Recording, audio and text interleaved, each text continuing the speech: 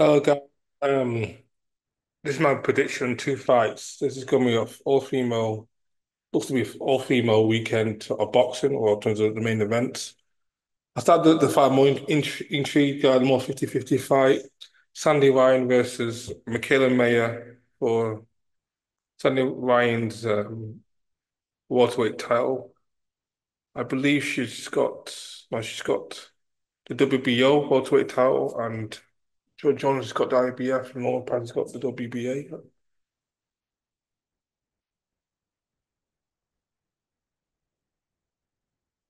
And it's a 50-50 fight. Either fight could win. Either fight could win at this stage.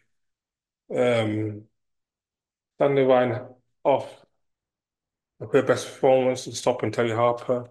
And Sandy Ryan coming off a controversial loss to Natasha Jonas. I thought she won it. I, I, I scored it six rounds to four in May's favour. I do think she beat um Mungani though. I think Mungani may slightly just that maybe one one or two rounds, very close fight. So arguably you can see M M is undefeated. I got because it's America, but I think it's gonna be split decision win by Mayer. Be close, close fight. Anyone could win it, but I think because it's America and it's home crowd and and top ranks card. I mean, Mayer by split decision. I don't think it's gonna be stoppage either way. Neither fire power punches.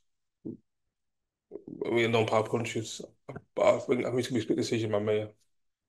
That's my gut feeling.